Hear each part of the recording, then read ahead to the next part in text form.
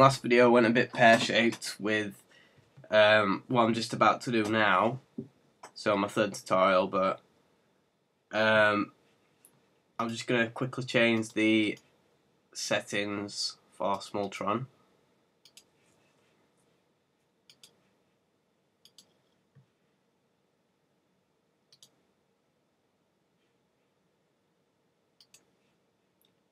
So I didn't. I'm redoing this tutorial. Um,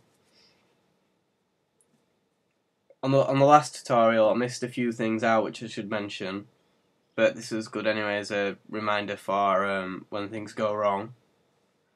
Um, all your module files they can't have a PHP ending tag because you can only have one PHP ending tag in a PHP file and we don't want the code cutting off inside the module so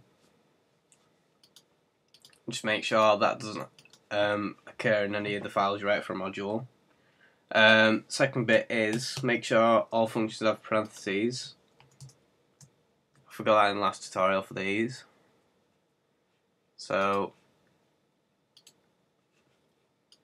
ignore that.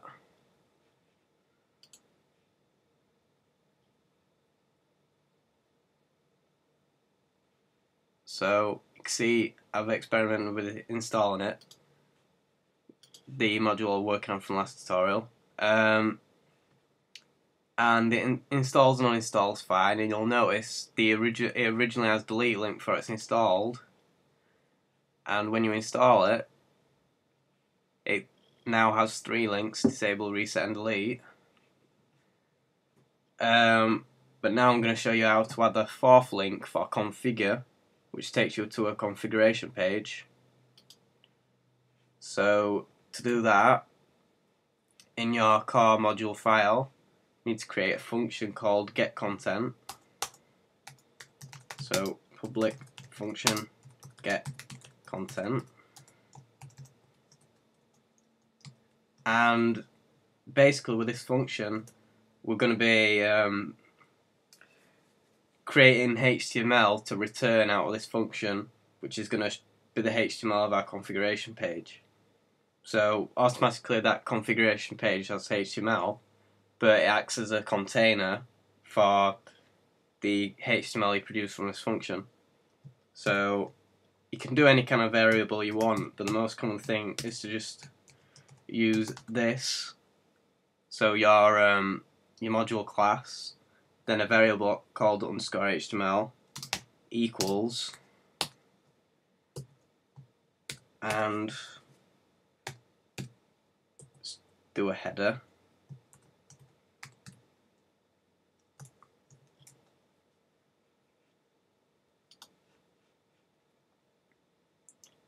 So just I'm going to stick the display name in for this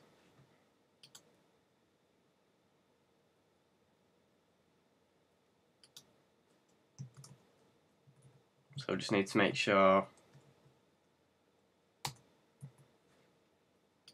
that we separate the HTML from the variables by putting the variables in speech marks and then the dots in between the speech um, the gaps of the speech marks and the variables.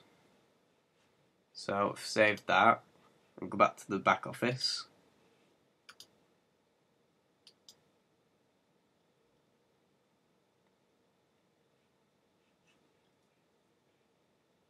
And you see now I've configuration link that we've added that function. And that's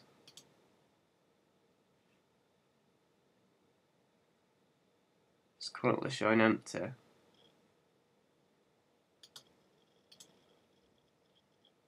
Didn't mean to do that But you can see it's actually added a configuration page now even though there's nothing inside it. So I'll assume there's something wrong with the way I've wrote it. So I'll just put a normal bit of text in rather than a variable. So this is a header. Reload.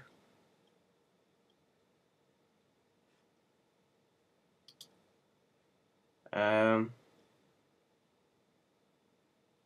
ah, apologise.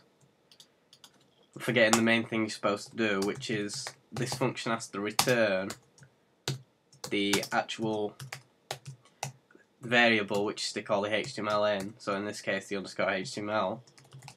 Or you won't get anything back whatsoever. You'll just get that blank screen which you saw.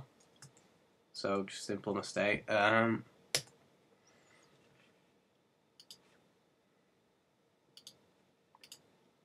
so if I reload now, you can see we get um, the title, which I put in, the header title, and we also get these two like block of links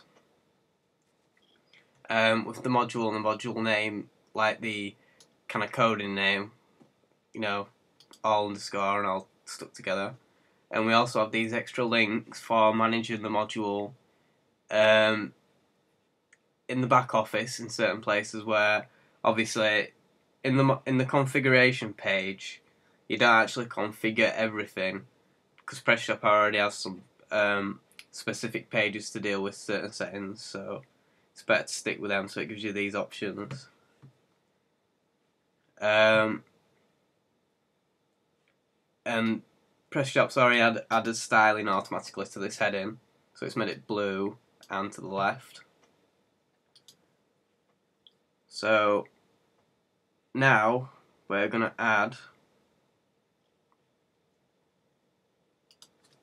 another function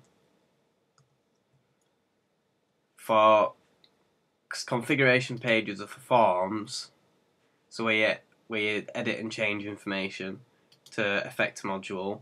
So most modules in PrestaShop use a function um, name called display underscore display form and include this in the get content function by just using this.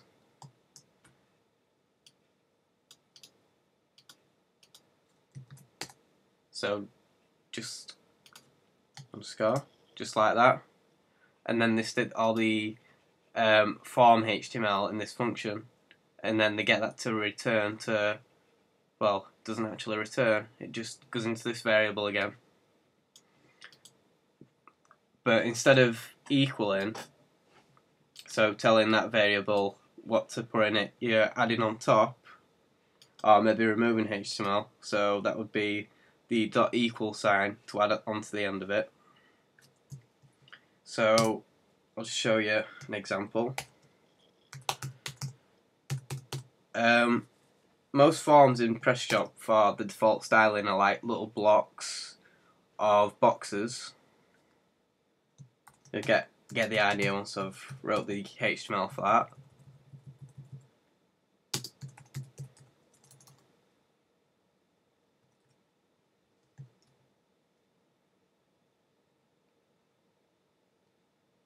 Um, field set class equals. Just trying to remember.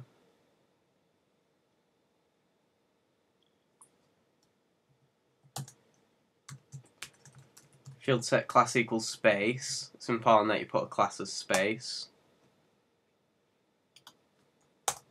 Make sure you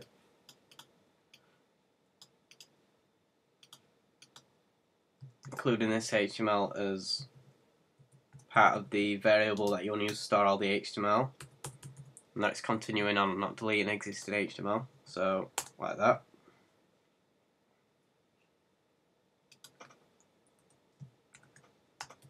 Label. So, obviously, a label for a form field.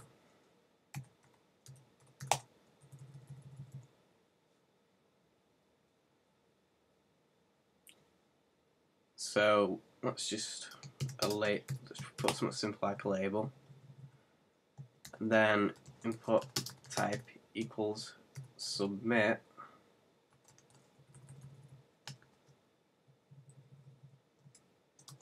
And then this one, you have to put another class spe specific to PrestaShop, which is button. Close it off. And if we just save this now, reload. See now we've now got a little box with a label for an element and a submit button. And the label itself isn't hasn't got any kind of styling to PrestaShop, but the button and the containing box, the field set, does. And you can duplicate this as many times as you want, have as many fields as you want. And they'll all have their um,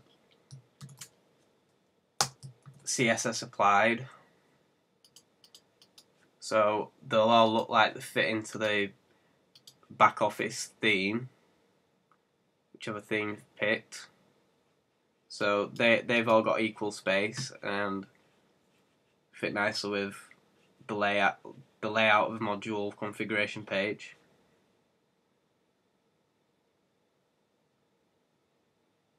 Um, just going to reference something I wrote down.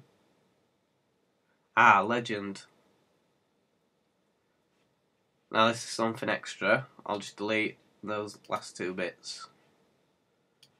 Duplicate. With these boxes, there's um, an overlapping tab you can put on the top of them with the legend element. And by the common style for PrestaShop modules is to use a image. So, see, I'll just select Google for this one. So, Google logo.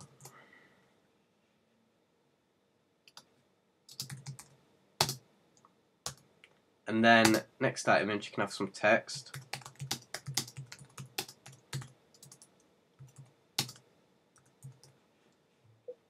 Save. So now you can see, ooh.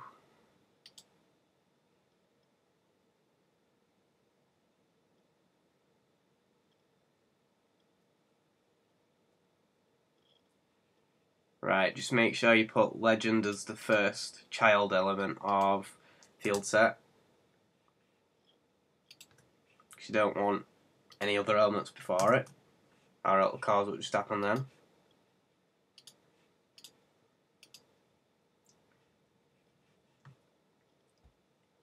Ah.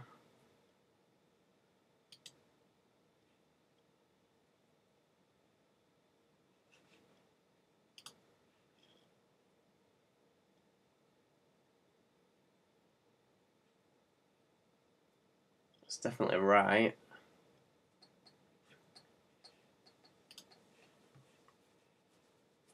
This probably just because the image is too big, but you can see the basic effect of what you get. Ah, sorted itself out for some reason.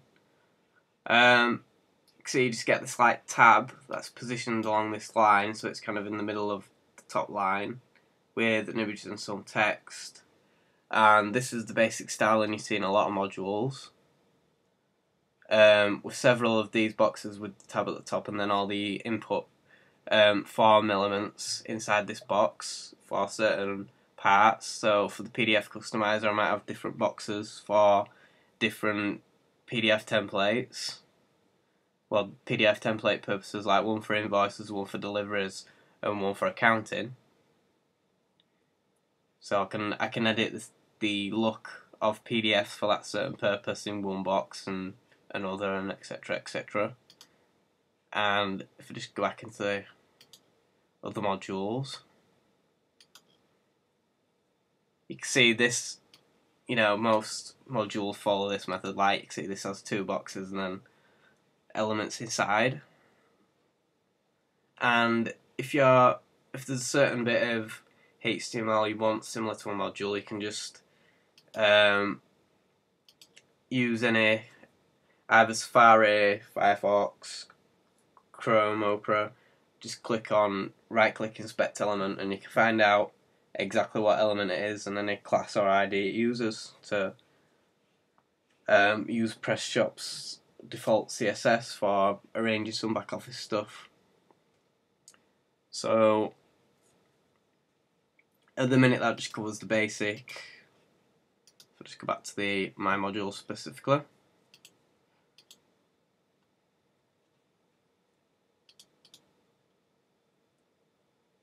So that just kind of covers any input elements and the submit button. So you can just kind of put them one after another inside the field set, as long as legends first. And you should be fine from there, just putting all your HTML in the display form and any extra HTML that's not part of the form inside the get content. And I'll show some more specific HTML in future when it gets more advanced. But that's all you need for now, really, just to plan out. And that's it, really. And in next tutorial, I'll just cover images. So that's it for now.